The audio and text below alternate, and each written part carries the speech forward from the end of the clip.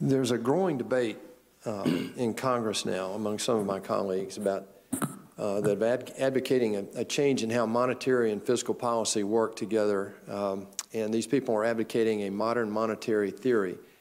Uh, they want to spend now, spend later, spend often policy that would use massive annual deficits to fund these tremendously expensive uh, policy proposals such as Medicare for all, free college for all, make every structure in the U.S. energy efficient in 10 years, and a universal basic income whether you're working or not. Under this landscape, it's proposed the Fed would keep interest rates artificially low and that fiscal policy would then be driven by Congress and would uh, theoretically manage the business cycle.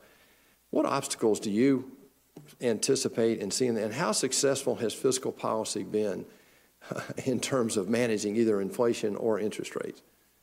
Let me say, I, I haven't really seen a carefully worked out, um, you know, description of what is meant by MMT, was what you're mentioning. Yes, sir. It may exist, but I, I haven't seen it. Um, I have heard some pretty extreme claims attributed to that framework, and I don't know whether that's fair or not. But I will say this. The, the idea that deficits don't matter for countries that can borrow in their own currency, I think is just wrong.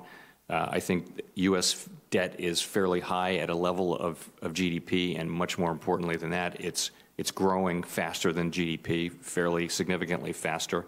We're not even close to primary balance, which means right.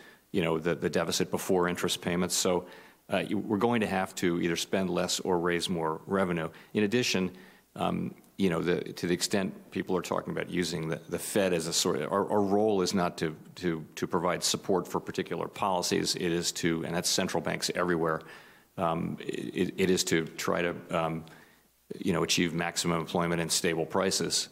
Uh, and so that's, that's really uh, what it is. And I think decisions about spending and controlling spending and paying for it are really for you.